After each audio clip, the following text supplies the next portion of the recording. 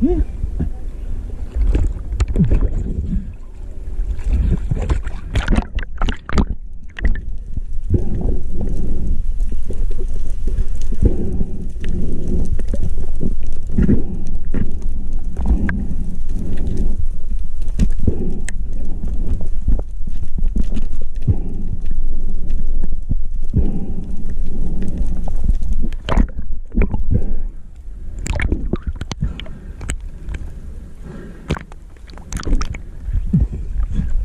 Unicorn fish.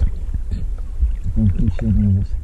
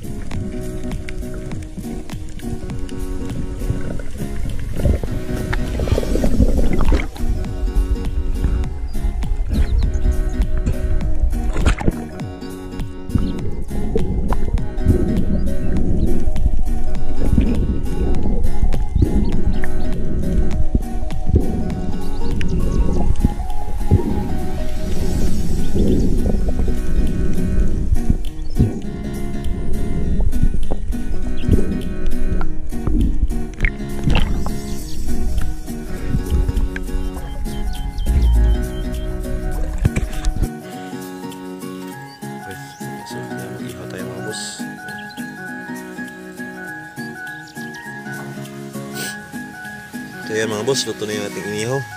Tara. Ito mga boss oh. Trigger fish, saka rabbit fish, danggit, saka ano, tikos. Ay, tara, kain tayo mga boss. Wala tayong kasalo ngayon, sulo tayo ngayon. Sulo, tara.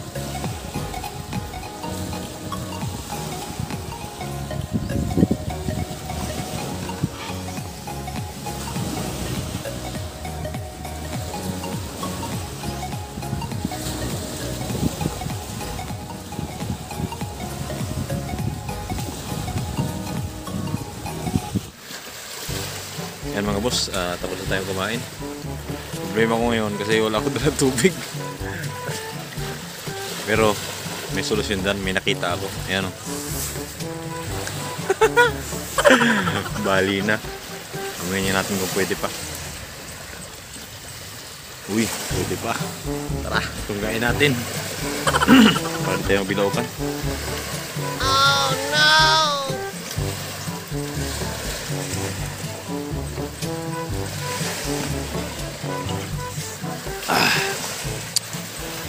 So, ang tubig natin mga boss. Pakla. Pakla ang lasa. Wala palang pips ito.